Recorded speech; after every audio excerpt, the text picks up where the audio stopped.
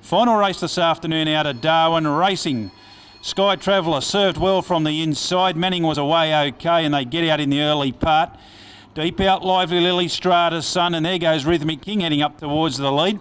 Just getting back off the speed, settling here was Jolliance, the inside Yoshi Jr. Luke's Courage back third last. The Tinker, just too cool, dropped out to the tail. They work to the back.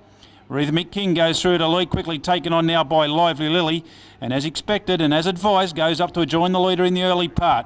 And they've got away about four lengths to Strata's son. Going up around them there, Sky Traveller in the red cap, and back on the inside, Manning.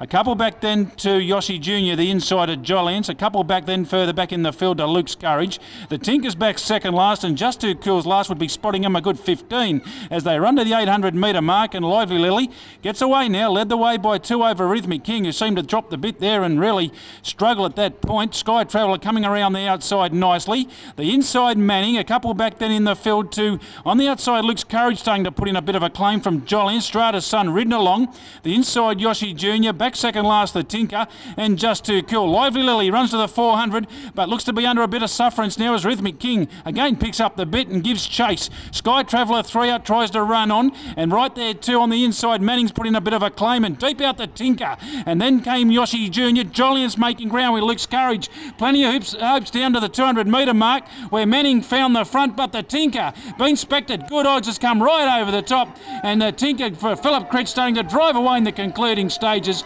And 20s into 11s will get the money. The Tinker first, second goes to Manning, third Sky Traveller boxed on okay. And then Jolliance, Luke's Courage, Rhythmic King dropped out, Lively Lily likewise. A gap then to Yoshi Jr., just too cool, and Strata Sun, the last one home.